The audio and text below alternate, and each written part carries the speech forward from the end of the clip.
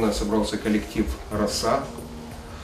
И я хочу вам представить человека, о котором я слышал давно и слышал от разных людей. Вот, э, например, э, наш партнер э, по Пунарвасу Виталий мне рассказывал. Мне все рассказывали об этом человеке и порекомендовали его как специалиста самого высокого уровня и как, чьи человеческие качества также соответствуют всем самым высоким стандартам. Это Юрий Михайлович Авраменко.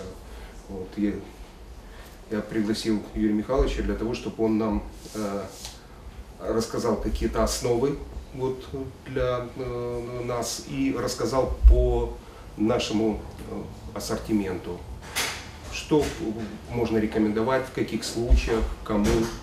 Тут многие названия я не знаю, многие названия вы не, не знаете. Э, то есть все требует именно подхода профессионального, и вот как раз это тот человек, который может это сделать именно на должном уровне. Прошу любить и жаловать.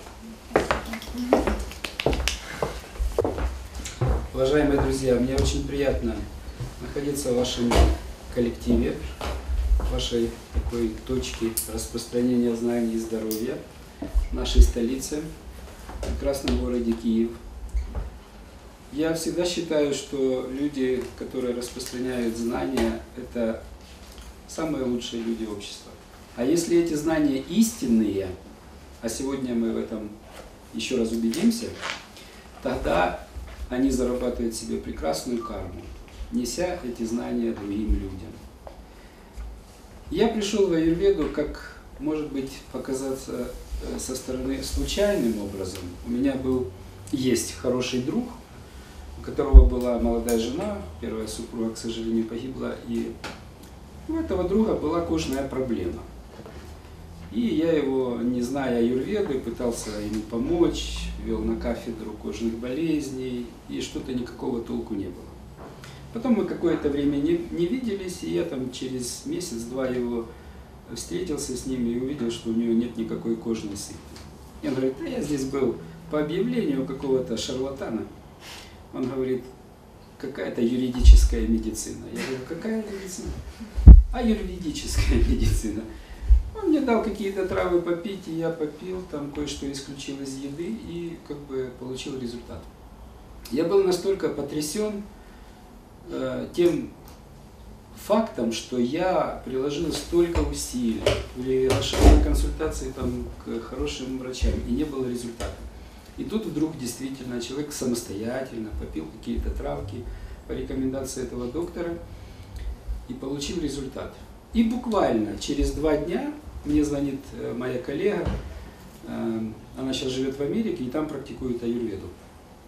И говорит, вот у нас в городе есть доктор Залис, он будет вести курс аюрведы. Приходи. То есть, когда вот такие факты идут подряд, это значит, что природа открывает свои возможности. Каждый новый росточек знаний получает подпитку от самой природы. И это знание врывается в вашу жизнь. Когда мы пришли на этот курс, мы были все такие с поднятым носом, у нас был опыт определенный, и мы говорили, о, аюрведа, как это круто. А через два дня мы друг другу признались, что 9 из 10 присутствующих первый раз услышали это слово. Но эго врачебное настолько сильное, оно не допускает мысли, что вот я не знаю чего-то. И поэтому, когда врач получает какой-то результат в поликлинике, в стационаре, это, конечно, его несет.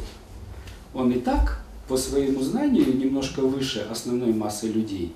И поэтому признать свои ошибки или ты что-то там чего-то не знаешь, для врача это очень сложно.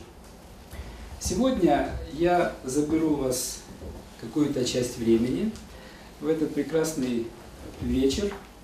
Но я очень надеюсь, что вы не зря потратите это время. Даже если вы знакомы с аюрведой, может даже где-то глубоко знакомы, но я смею надеяться, что я вам сегодня принесу такую информацию, которая, конечно же, будет вам в помощи в вашей работе, вашей практике, и вы получите какие-то новые грани этого знания. Почему я так говорю? Потому что часто после лекций мне говорят, что вот я э, подобную информацию слушаю не первый раз, много раз, но вот только сегодня я понял, что такое вата, что такое пита, что такое кавха. И несмотря на то, что мы сегодня будем говорить об аюрведической продукции, мое глубокое убеждение, что без теоретических знаний говорить сразу о продукции это совсем неправильно. Совсем неправильно.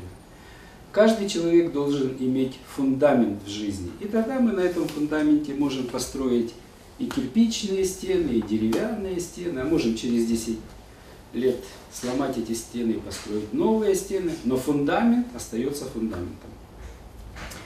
Я часто начинаю лекцию такими словами, которые я уже не помню, где я их вычитал и услышал, но они абсолютно правильные, что редкая удача и счастье присутствует в жизни тех людей, которые сталкиваются с ведическим знанием. Потому что это знание истина. И если это знание истина, человек, соприкасаясь с этим знанием, получает счастье, получает импульс к своему развитию, получает чистоту сознания. И только такой человек может вести за собой других людей.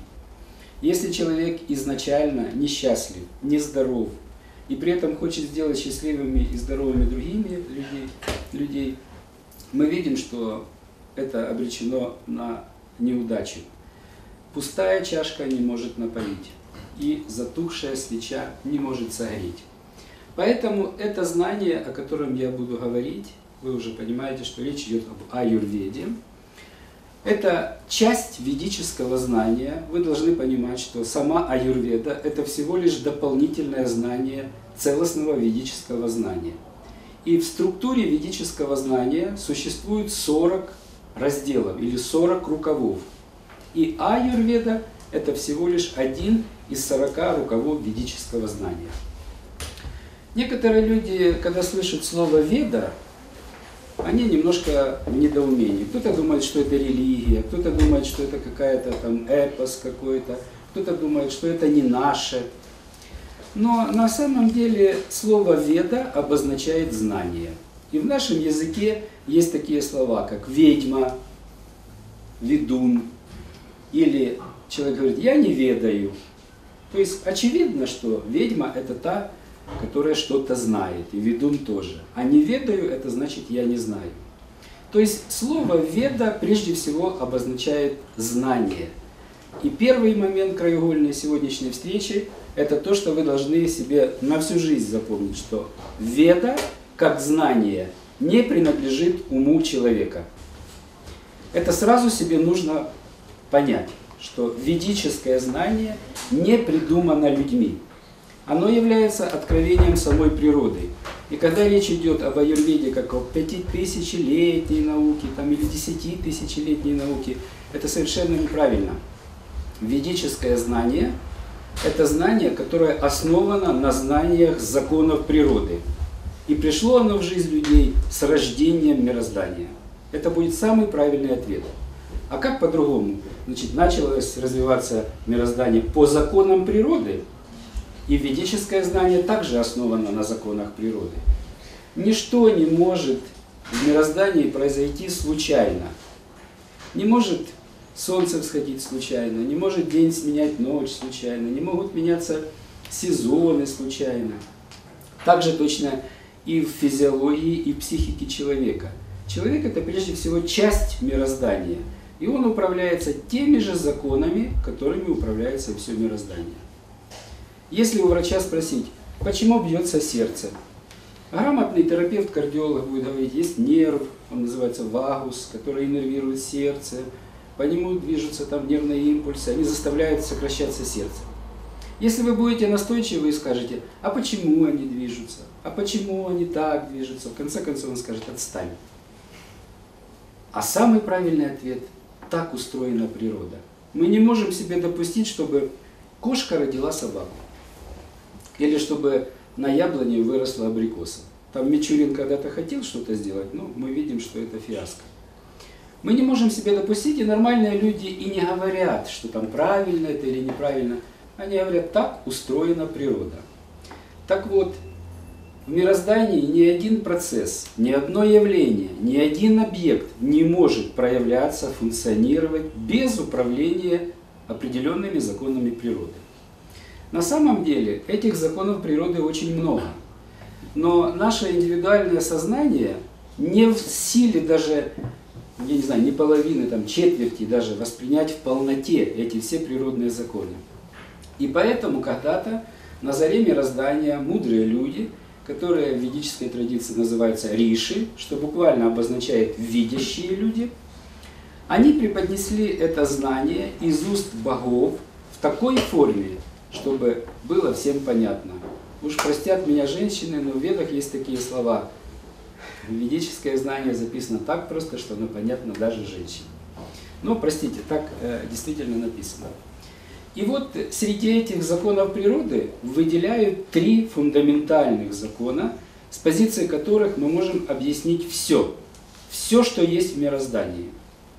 Начиная от таких каких-то очень простых вещей, холод и тепло, сухость и влажность, старость и молодость, болезнь и здоровье, и заканчивая какими-то очень тонкими и фундаментальными вещами в жизни, какими-то философскими вопросами, какими-то сторонами нашей жизни, которые связаны с нашим сознанием, с нашими эмоциями, с нашим интеллектом, с нашим мышлением, то есть то, что мы даже не можем пощупать руками. Эти законы известны под названиями Вата, Пита и Капха. Это краеугольная часть аюрведы, которую, конечно, поняв, дальше будет очень легко все понимать. Когда-то Махариши, моему духовному учителю и многих здесь присутствующих, кто-то на лекции сказал, Махариши Джи, аюрведа, это так классно. На что Махариша сказал, что там аюрведа? Вата, пита и капха. То есть для людей просветленных любая мысль, любое слово звучит как истина. Они говорят это как истину. И он прав. Если человек понимает, что такое вата, пита и капха, дальше ему совершенно все легко и свободно. Вот мы возьмем сейчас, ну, наугад можно, конечно, взять, но я возьму, вот, например, Манаса Митра Вати. Если э, человеку непосвященному сказать, вот такой препарат, он будет долго думать, манаса, митровать. Что Мы это такое? делаем большую ставку. Это бомба. В аюрведе, зная законы природы, очень легко понять, что такое манаса митравати. Манас это ум, митра, вы знаете, у католических священников вот эта шапка высокая, митра, она соответствует венечной чакре, сахасраре. Это значит, что Манас в аспекте тонкого ума. Ну и вати это таблетки. То есть это состав трав, который влияет на тонкий аспект ума. Это так грубо. На самом деле показания к этому препарату тяжкие расстройства центральной нервной системы во всех аспектах, начиная там с эпилепсии какой-нибудь или потерь сознания или энцефалита какого-то и заканчивая более простыми формами типа бессонница, гипертония там, или головокружение или головная боль. головная боль и так далее. Это только один пример. Если кто-то думает так, что аюрведа это что-то не наше. Вот индусы пусть аюрведу, а мы типа вот свое, славянские веды, так сейчас очень часто можно услышать. Но на самом деле это просто смешно. Это получается так, что в Индии одни законы природы, а у нас другие законы. Так не бывает. Вместе с тем, в любом классическом тексте вы можете найти такую красную нить, что, конечно, человек должен в большей степени использовать в своей жизни, например, для еды те продукты, которые растут рядом, те травы, которые растут рядом. И так и есть. У нас куча трав, которые используются в аюрведе, но есть травы, которые не, нет у нас. И это совсем не значит, что они не работают. Если кто-то будет вам говорить, что это не так, вы приводите такой пример. А вы картошку едите? А 200 лет назад картошка была чужажу вообще непонятным плодом. А если мужчина курит, вы у него спросите, а вы курите? А табак же у нас не растет. А мандарины вы любите? А бананы? То есть человек, когда что-то любит, он легко это оправдывает в своей жизни. Он говорит, ну это ж классно. А трава, которая там где-то растет, нет, это не наша трава. И также точно нельзя говорить так, что аюрведа это индийская медицина. Я сам так иногда говорю для того, чтобы сразу очертить круг разговора, когда человек незнакомый. Но на самом деле аюрведа – это первая система медицинских знаний, которая когда-либо существовала в мироздании.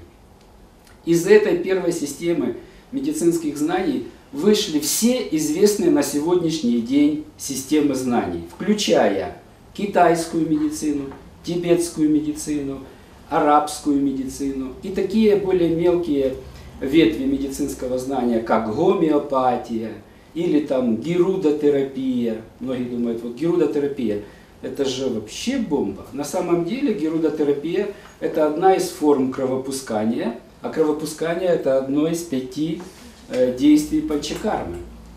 Всего-навсего. Вот завтра я буду читать лекцию более подробно об истории и истоках аюрведы, и там я буду упоминать классические трактаты.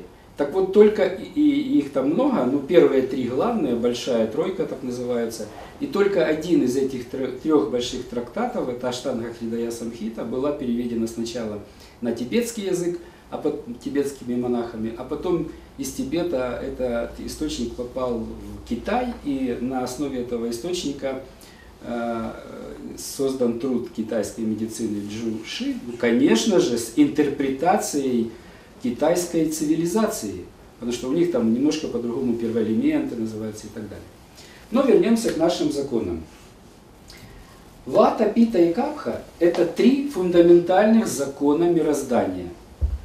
Это инструменты, которые позволили проявиться всему, что нас окружает – ну, Аюрведа говорит, куда вы не смотрите, на что вы не обращаете взгляд, к чему вы не прикасаетесь, вы смотрите и прикасаетесь к пяти божественным первоэлементам, которые известны под названием пространство, ветер, огонь, вода и земля. Это мельчайшие камешки мироздания. Мельче нет. Но если человеку сказать, вот первый элемент огонь, ну, огонь-то огонь. Первый элемент воды.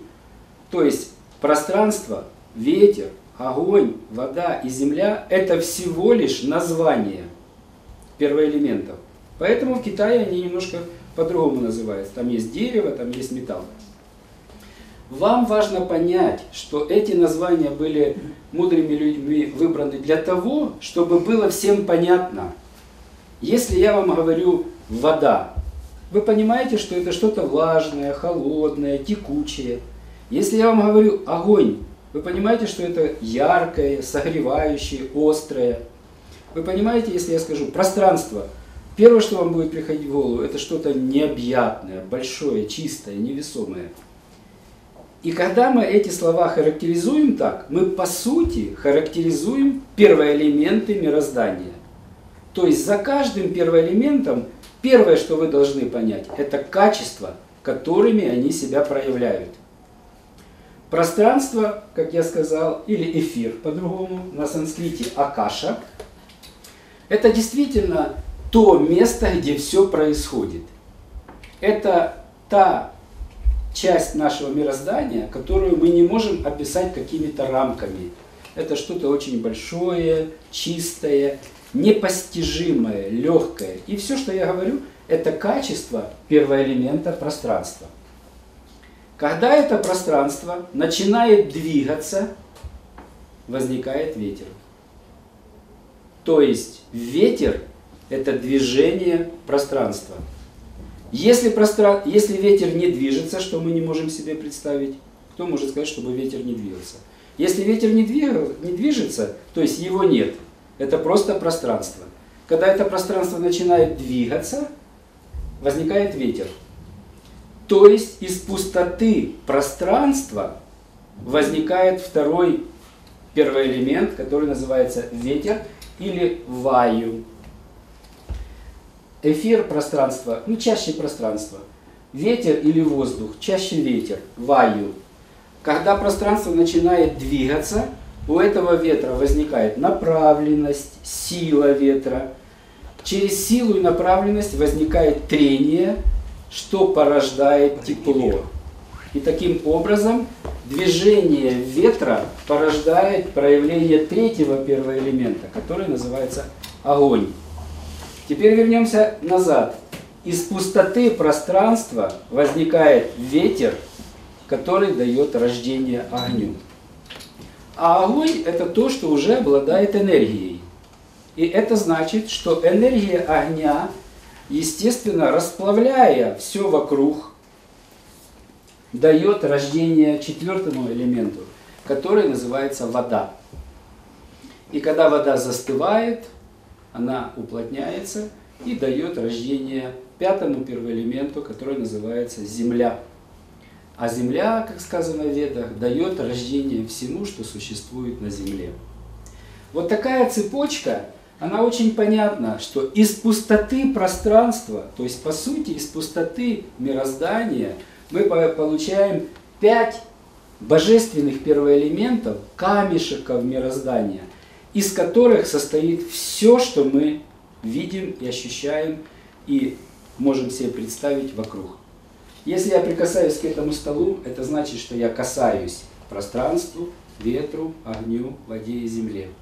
Если я съел конфетку, это значит, что я съел пространство, ветер, огонь, воду и землю.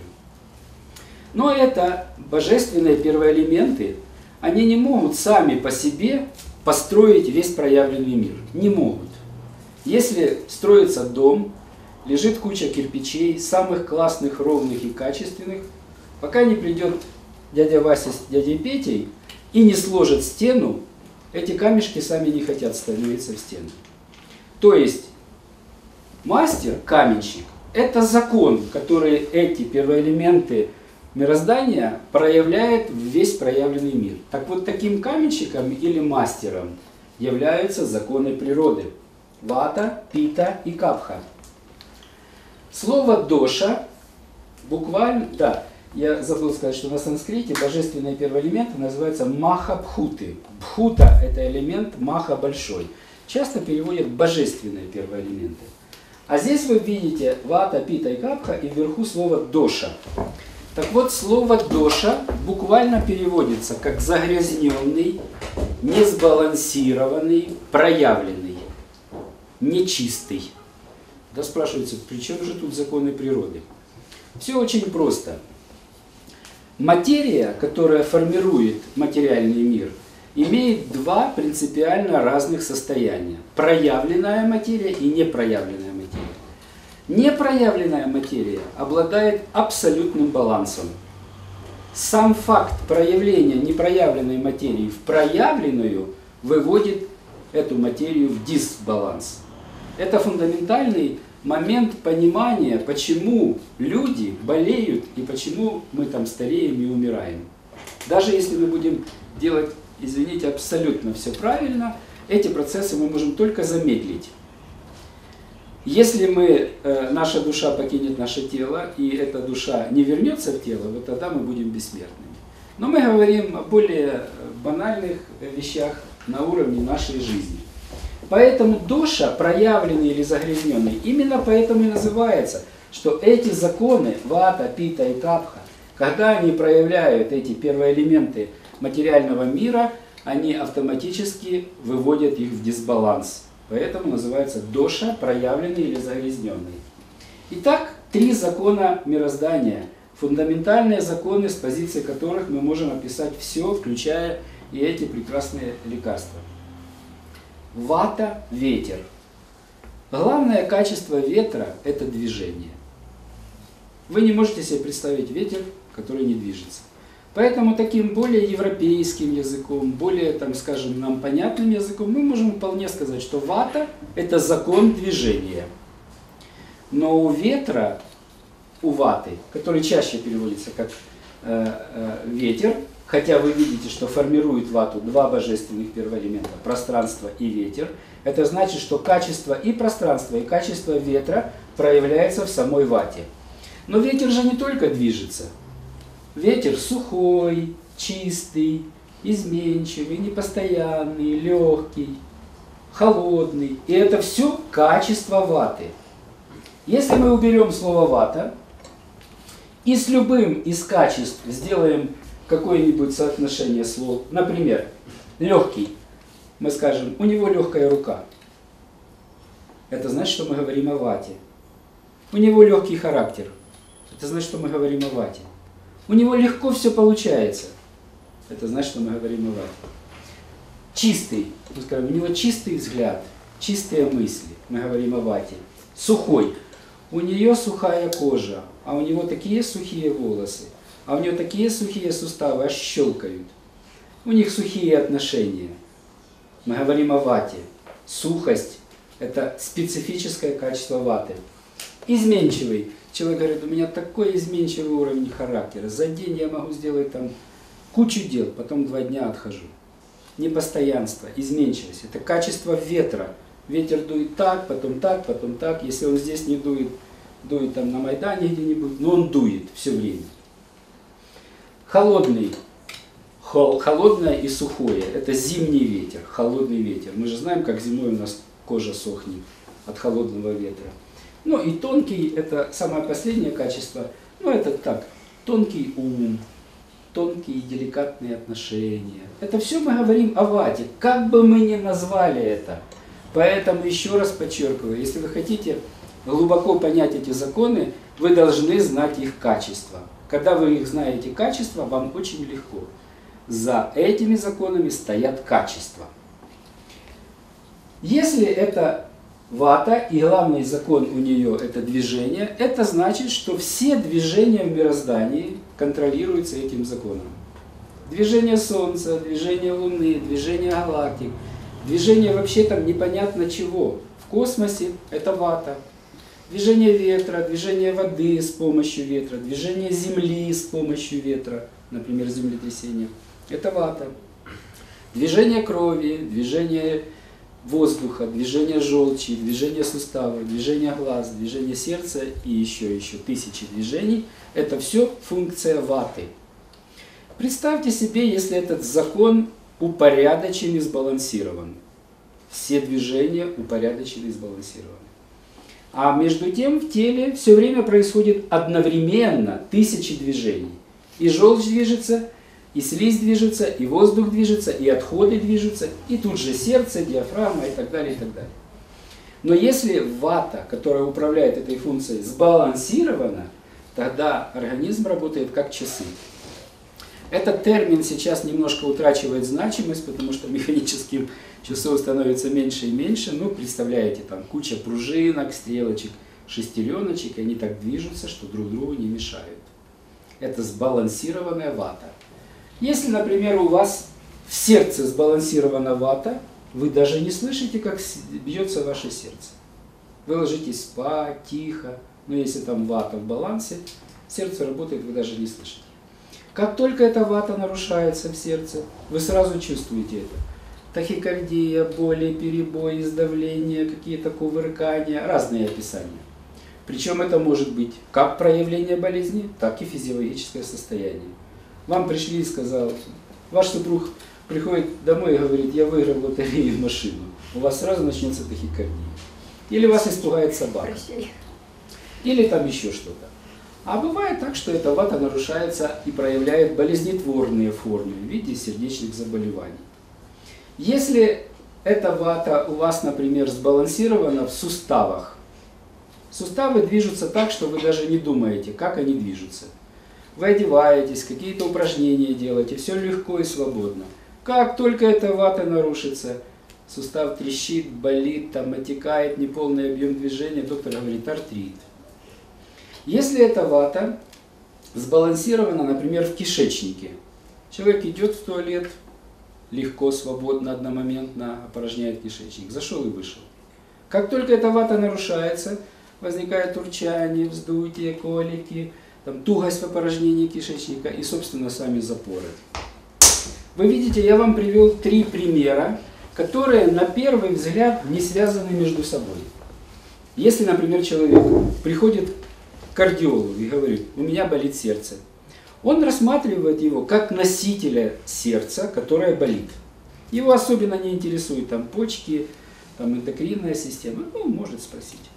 Он назначение все делает для больного сердца.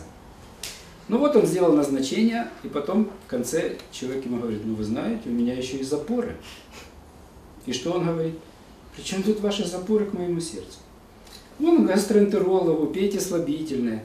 То есть для него эта дополнительная информация не дает в руки знаний, которые бы помогли понять природу болезни там, сердца. Также точно гинеколог. Приходит женщина и говорит, у меня отсутствует месячный или там нерегулярный цикл. Она смотрит на женщину как на носителя матки яичников менструального цикла. Ее особенно там другие моменты не интересуют. А между тем вы уже сейчас увидели, что в данном случае три примера. И аритмия, и там артрит, и урчание, вздутие и запор имеют одну причину. С уровня знания законов природы это классический дисбаланс ваты. И в классических текстах описано 80 расстройств движения ваты. Это все заболевания, которые и до сегодняшнего дня очень выражены в нашем обществе. Если вы посмотрите на этот цветок, хорошо, что он у нас есть здесь, вы на него смотрите, и вы видите, что у цветка один корень, а из корня растет 30 листочков или 20. Каждый листочек связан с другим листочком через корень. Также вы знаете, что для того, чтобы этот цветок был здоров, вы поливаете корень. Вы особенно о листочках не заботитесь. Да, вы можете их побрызгать, там, вытереть, но корень, вы знаете, это главное. Если корень будет здоров, он позаботится о своих листочках. Так и на этом примере ваты. Очень часто человек перечисляет 20 жалоб, которые на поверку являются, имеют одну причину, всего лишь разные проявления. Бывает так, что есть какое-то несоответствие, и то это только на поверхностном уровне, как бы нет соответствия. На самом глубоком уровне, как правило, одна и та же причина может дать различные проявления. Если этот корень засохнет, и этот цветок будет, э, листок будет желтым, там больным, и этот, и этот, и этот. Корень – это причина, листочки – это следствие. Не было бы корня, не было бы листочков, там, цветочков и плодов. Итак, мы говорили о вате. Теперь второй закон – пита. Пита – это огонь, и главное качество огня, мы понимаем, это согревающее качество, острое качество, яркое качество. И еще я добавлю трансформирующее качество. Сейчас поясню. Огонь, так как он горячий, а все горячее обладает внутренней энергией. Если вы, например, пьете холодный, горячий чай, вы чувствуете, лоб вспотел, тут приятное тепло и вообще такое надо браздеться. Энергия горячего чая согревает вас, усиливает обменные процессы. А если этот же чай, недопитый, постоял и полчашки осталось, и вы его выпили через час, вы этого ничего не испытываете. Хотя при этом количество белков, жиров, углеводов, калорий, что у холодного чая, что у горячего чая будет одинаковым. Потому что не только это важно, а еще и температурный режим этого продукта. А что может дать горячее качество? Только огонь. Из этих первоэлементов только огонь обладает горячим качеством. Пространства нет, ветер нет, вода холодная по своей природе, земля холодная по своей природе. Только огонь. И, конечно, у огня, как и у ваты, есть эти качества. И если опять мы закроем слово пита и будем смотреть на эти качества и приводить примеры, все, что я буду говорить, будет рассказано о пите. Видите? Первое мы пока пропустим. Дальше. Ну, самое главное, острое. Например, мы часто говорим, у него острый взгляд. У меня острая боль в желудке. Ну, кто-то там может сказать, у меня острые проблемы. Острый. Это значит, что мы говорим об огне, о пите. Горячий. У него горячие ладони. У них, у них горячая любовь. Сейчас горячий сезон года. Все мы говорим о пите, об одном и том же. Ну, допустим, маслянистая. Маслянистая пита, потому что э, есть такое у нас выражение, подлить масло в огонь. Вот кажется, ну, случайно, но мы же понимаем, что если масло в костер подлить, костер будет сильнее гореть. Потому что одно из качеств питы мы будем усиливать. И теперь о трансформирующем качестве огня. В ведах так сказано, все, что проходит через огонь, трансформируется. Возьмем простое, всем понятное э, часть нашей жизни, любимая часть – пищеварение. Ведь мы едим, в принципе, едим примерно одинаковую еду. Мы едим злаки, овощи, молочные продукты, специи. Кто-то ест мясо, кто-то не ест мясо. В принципе, мы едим одну и ту же еду. Но наше тело увеличивается, строится, поддерживается не за счет яблок, не за счет картошки, не за счет там, молока, а за счет того, что в процессе пищеварения мы смогли извлечь из этих продуктов. То есть, по сути, пищеварение – это процесс трансформации еды в наше тело. Без огня переварить пищу невозможно. Поэтому огонь трансформирует еду в наше тело. А то, что он не смог трансформировать, выводится в отходы. Поэтому одна из главных функций огня или питы – это трансформация. Что мы видим в процессе нашей жизни? Мы прежде всего видим трансформацию нашего тела. Когда-то мы были одной клеточкой, двумя клеточками плодотворенная зигота, потом там, плодом, потом ребенком, потом мы вырастаем в тети дядь, боремся с лишними килограммами, потом начинаем худеть. Это все процессы трансформации. Также точно можно привести пример и не на уровне тела человека. Например, в металлургии берут руду, ну, по сути, глину какую-то, придают ее огню, и в процессе придачи огня получают металл и шлаки, выплавка стали. Также точно пищеварение. Получили тело – это металл, а то, что пошло в отходы – это шлаки. Или, например, задайте сегодня все дома своим домашним вопрос. Вот как ты думаешь, там, или ты, или кто там, почему сырой лук острый, мы же знаем, что он острый, а когда мы его начинаем жарить, он становится сладким. Пусть попробуют вам объяснить, даже если они не медики, там, своими словами, как они думают. Я вас уверяю, что мало, конечно, кто простоту объяснения вам скажет. Ответ очень простой. Огонь трансформирует острый вкус в сладкий. То есть это функция огня. И я вам привел пример не только на уровне тела, на уровне той же выплавки стали. Если огонь в теле человека в балансе, это значит, что все функции в теле в балансе. Обменные процессы в широком смысле слова – это функция огня. Согревание тела – это функция огня. Переваривание пищи – это функция огня. Окраска тела – это функция огня. Возьмите какого-нибудь фина и возьмите какого-нибудь там итальянца или испанца или турка и поставьте их рядом. Тот смуглый. Почему так? Никто не думает. Потому что солнца там много. И, пи, и пигмент, который есть в коже, он получает питание от солнца. И окраска тела – это абсолютная функция огня. Все, что окрасывается в нашем теле, крови, моча, кожа, глаз, волосы, ну все, что окрашивается, это функция огня. Если у человека этот закон в балансе, человек говорит, пищеварение хорошее, температура стабильная, воспалений нет – вот послушайте, воспаления нет. Пылать может только огонь. Воспаление – это то, что пылает, а пылать может только огонь. А если этот закон нарушается, то так же точно, как и в случае с ватой, в зависимости от места выражения этого нарушения, мы и будем иметь результат. Например, вы сами себе говорите, у меня печет поясница. Мы же не будем считать человека больным, но печь может только огонь. А у кого-то пекут глаза, у кого-то стопы там, а у кого-то там горло печет. При этом нет температуры, просто есть жжение. А кто-то скажет, все, я завтра на работу не иду, у меня температура. Обычное дело, кашель, насморк, простыл, холодного попил, где-то там сквознячок и заболел. И повысилась температура. Температуру повысить только может огонь. А в кого-то, например, хронический воспалительный процесс без температуры но сам процесс воспалительный – это тоже огонь. Ну и так далее. У кого-то изжога, у кого-то кровотечение, у кого-то там проблемы с кожей, какая-то кожная болезнь. Это все проблемы огня. И в классических текстах описано 40 видов дисбалансов этого огня.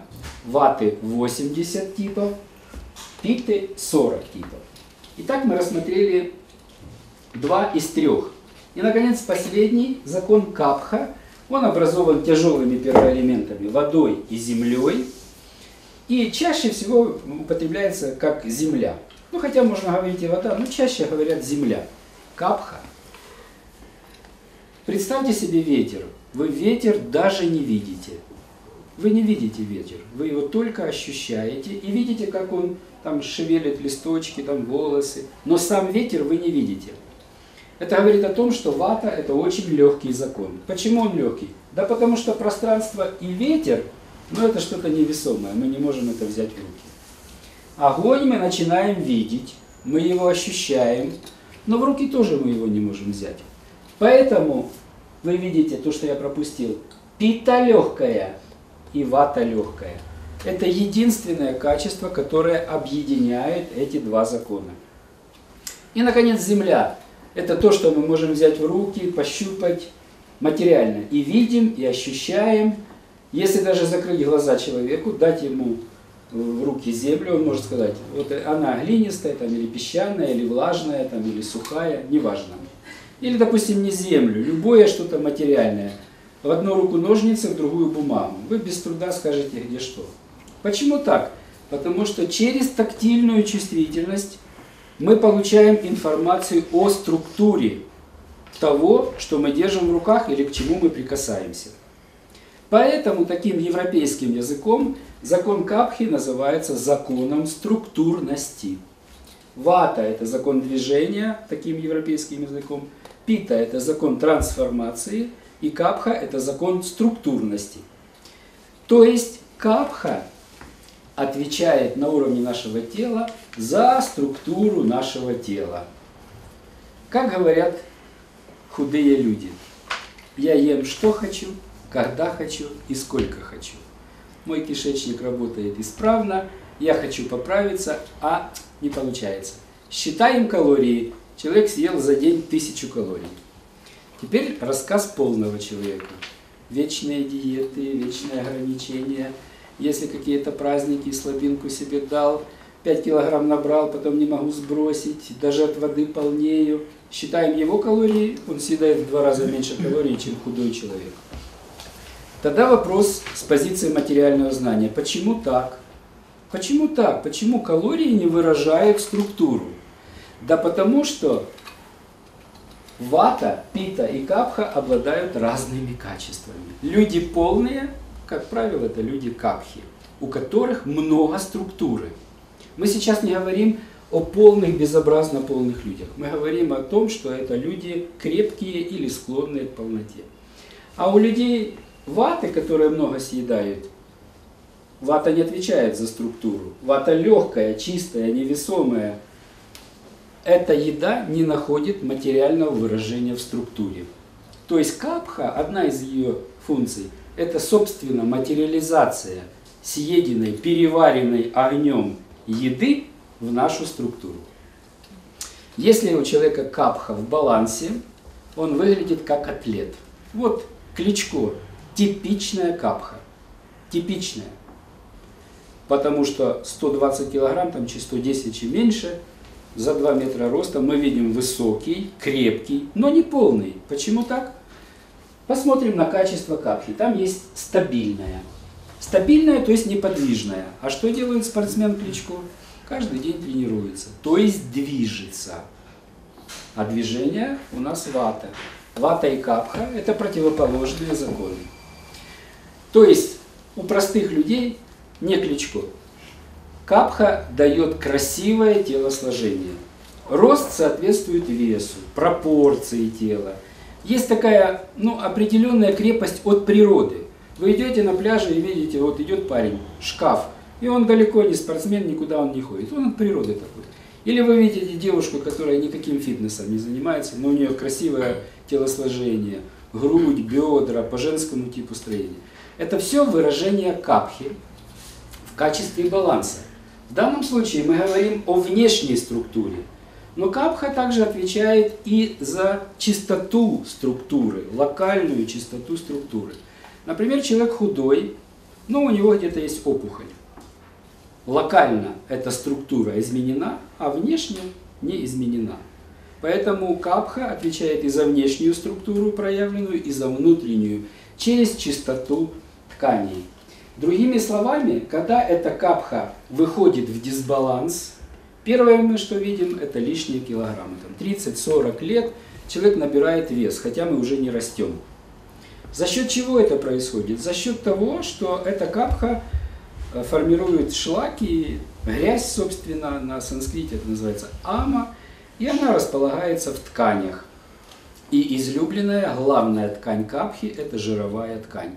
Речь идет не только о животике там, и бедрах, и попе, а речь идет о всей жировой ткани, в щитовидной железе, в матке, в почках, везде, где есть жировая ткань, а не конкретно там брюшной сальник там, или ягодица. Качество капхи, как качество земли, главное, тяжелое, маслянистая, мягкая, холодная, стабильная, липкая. Это все качество капхи. Закроем это слово и приведем много примеров. У него тяжелый характер, у него тяжелая там походка, у него маслянистая кожа, у него холодные руки, хотя он и не худой. Сейчас поясню. То есть, когда мы делаем как бы синонимы эти слова, мы по сути говорим о качествах. Итак, посмотрим маслянистая и маслянистая. Только тут написано в классических текстах слегка маслянистая, а здесь просто маслянистая. То есть это единственное качество, которое объединяет питу и капху. Почему так? Потому что вода, четвертый первый элемент, участвует в образовании и питы, и капхи. Это придает маслянистость. Но одно дело, когда вода с огнем, и другое дело, когда вода с землей. Здесь полная маслянистая, здесь э, слегка маслянистая. А что же тогда мы вату и капху, как мы сравним? Вот посмотрим, вроде бы совершенно противоположное. Вата легкая, капха тяжелая. Вата сухая, капха маслянистая. Но есть одно качество, которое объединяет и вату, и капху. Это холод. Капха холодная и вата холодная. Но только у ваты холод сухой, как морозный ветер, я приводил пример, а у капхи холод влажный, как мокрая тряпка, которая в ванной лежит на полу. Стабильная, холодная, маслянистая на ощупь и неподвижная. Но холод – это то качество, которое объединяет. Если капха в дисбалансе, то кроме веса есть и более тяжкие расстройства. Например, возьмем классический дисбаланс капхи, это сахарный диабет. Казалось бы, ну при чем тут структура? Но речь идет об увеличении структуры крови. Крови. Здесь вы, наверное, там есть где-то и сладкое должно быть написано. Но если не написано, то качество капхи, так, также она сладкая. То есть, когда сахар крови повышается в, в крови, то структура или консистенция, реология крови, конечно, кровь сгущается. Это увеличение структуры крови. Также точно и холестерин крови. Когда он увеличивается, он тоже сгущает кровь.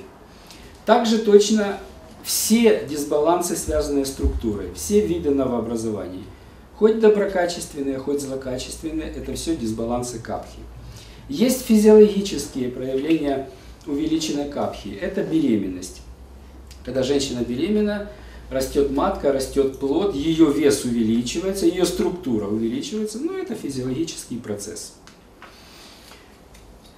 Вот зная эти качества, вы легко можете оперировать такими понятиями, как вата, пита и капха.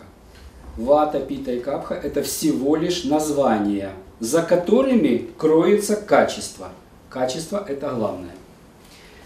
Отношения между этими тремя законами своеобразные. Вата – это королева, это главнейший закон. По той простой причине, что вата обладает движением. Огонь и земля без ваты не могут двигаться. Если мы свечку накрываем стаканом, говорят, нет доступа кислорода, огонь гаснет. И земля сама по себе не будет прыгать. Землетрясение – это движение земли с помощью ваты. Но пита и капха – это как малые дети. То есть вата – это мама, а это дети. Представьте себе, вата в балансе, То есть мама сбалансированный человек. Она ведет двух деток по улице. И что она говорит? На красный свет не переходи дорогу, бумажку бросай в урну, посмотри направо-налево. Она учит, она передает знания, потому что она в балансе. А теперь представьте, вата это пьяненькая мама, которая тоже ведет деток. А, тот побежал за окурком, тот вообще никуда не, непонятно. То есть, когда вата в дисбалансе, то пита и капха автоматически стремятся к дисбалансу. Если вата в балансе, то пита и капха автоматически стремятся к балансу. Даже если у человека на уровне физического тела ваты немного, это не значит, что она не, незначима. Она всегда значима. Просто для такого человека она менее значима, а для человека вата конституции она более значима. Теперь представьте, что может вата, ветер, сделать с огнем. Горит костер, на него дует ветер. Ветер может задуть огонь, может раздуть огонь, а может поддерживать горение. То есть огонь полностью зависит от ветра. Что может сделать пита с ватой? Только согреть ветер. Если ветер холодный дует через огонь, он согревается. Но при этом огонь не может нарушить ни силу ветра, ни направленность ветра. Огонь ничего не может сделать с ветром, кроме согреть. Теперь посмотрим соотношение капхи и питы. Если огонь горит на земле, костер горит на земле. Когда костер прогорит, мы отодвинем его и посмотрим. Земля стала более сухой, более теплой. Посмотрим. Капха холодная по своей природе, а костер прогорел, она стала теплой. И капха маслянистая по своей природе. Костер прогорел, и она стала более сухой.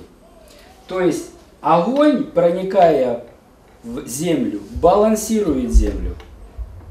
А что может сделать земля с огнем, если мы две лопаты земли бросаем в костер? Костер утрачивает свои функции. Все, все функции огня снижаются. И поэтому, конечно, вот эти специфические отношения, я вам рассказал сейчас очень бегло, для врача это очень важно. Очень важно. Качество движения ваты в питу, там капхи в питу или питы в капху, это очень важно. Ну, понятно, наша сегодняшняя встреча э, не для того, чтобы я вас сделала за час врачами, но для общего понимания это очень важно. И теперь уже мы можем говорить о более э, специфичных наших вещах. Возьмем любой, любую коробочку из этих. Так или иначе, любой препарат, который есть здесь, он будет влиять и на вату, и на питу, и на капху.